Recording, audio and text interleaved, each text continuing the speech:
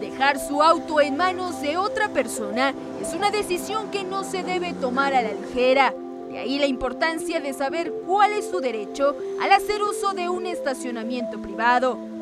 El papelito que nos dan al momento de pagar el estacionamiento es un contrato. Es un contrato de arrendamiento, es un contrato de prestación de servicio.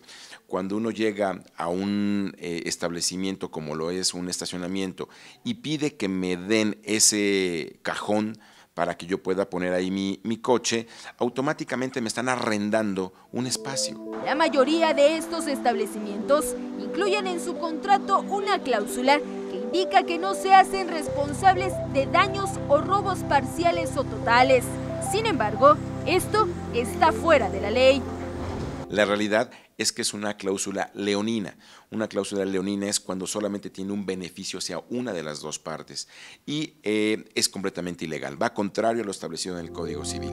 Por ello, en caso de que su auto o las pertenencias que deje en él sufran daños o robo, está en su derecho proceder legalmente.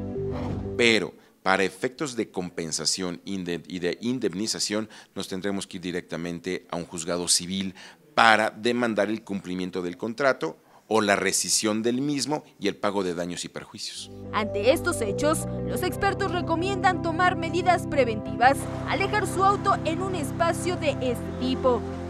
Es preferible no dejar eh, elementos valiosos dentro, pero si tú los dejaras, repórtalos y es más, sácale foto en ese momento en que está en el estacionamiento para que se dé idea. Con imágenes de José Manuel Cervantes, Joali González, Azteca Noticias.